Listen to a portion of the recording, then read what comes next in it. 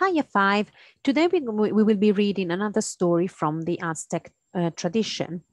Um, you can find it here on, on the slides. Okay, so if you can see and follow me on the slides, you can see that um, it's somehow about the sun and the moon. Okay, I'm going to put maybe right this one a little bit smaller so it's a bit clearer, hopefully, for you all. All right, so let's think about, um, you should read this, uh, the, story first and then you should pause it and come back to me um, on this video. So I will give you um, a couple of minutes to do that uh, because again, um, there are lots of pictures, so it's not a long story and I shall see you in a bit.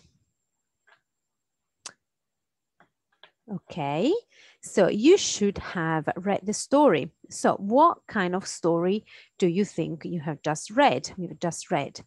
Okay, in your book, you can write down what do you think uh, this story is and why. Okay, again, also in this case, you should have to pause for a second to just write down what you think it is and what are the things that making you think that we're talking about a myth, a legend, or a fable um, and then come back to me. However, if you're really, really struggling, I suggest you go straight onto the next slide. Okay. So in the next slide, I have included um, all the definitions for legends, for myths, for uh, folk tales, uh, sometimes also fairy tales, and for fables.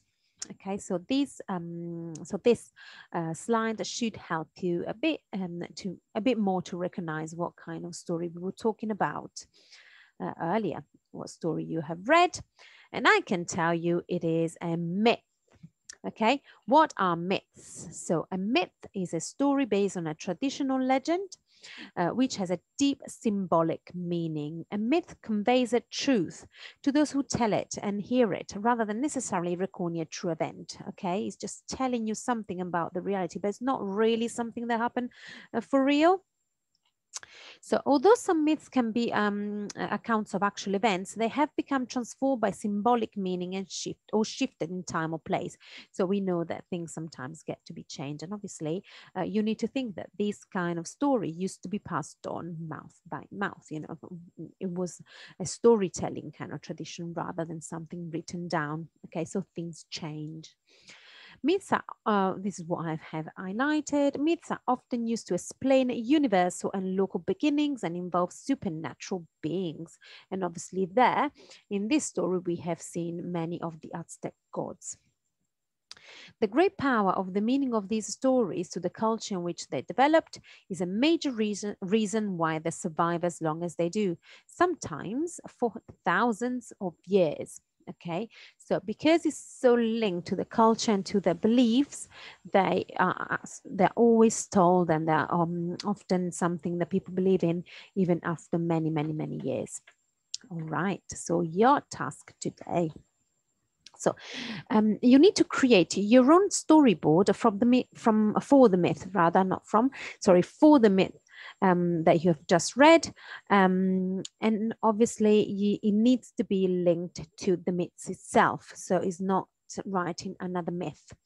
Okay, so the storyboard is going to be about that myth. Please do not write another one.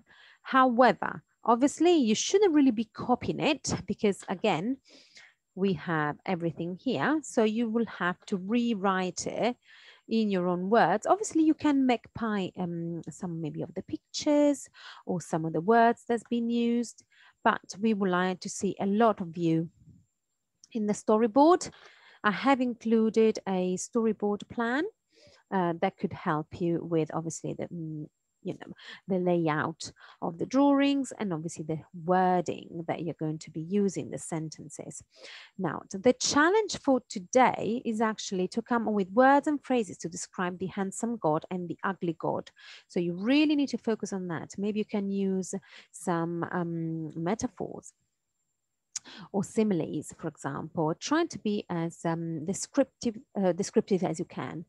And also, looking back at the hand of glory story that we have read last time, well, not last time, you know, a couple of um, weeks ago, um, can you maybe use some of the um, vocabulary that's been used that uh, there um, and include it in this one? Um, if you find something that works, obviously you don't have to put it there if you don't think that it will uh, improve your um, writing. Now, this is the storyboard. So as you know, the storyboard is something that we write before we are going to write a story. And that's because obviously you will have two days where you will write this story as well in paragraphs.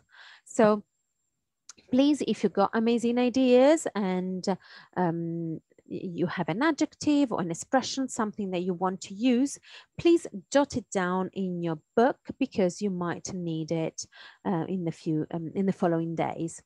Okay, so to recap, what we would like um, from you today is to read this um, story again, and then try and identify what kind of story it was in your own words. Uh, so maybe highlight which part of the story you think is telling you that it's a myth. um, as I explained now, hopefully you have tried by yourself before uh, listening to me talking. You know, this is the tricky part of you know, not having a live teaching.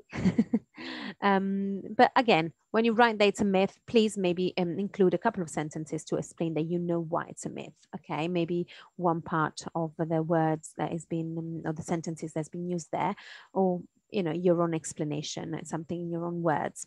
Again, there is a bit of help here. So you could maybe magpie something from here and put it in your own words associated with the evidence from the text. Okay.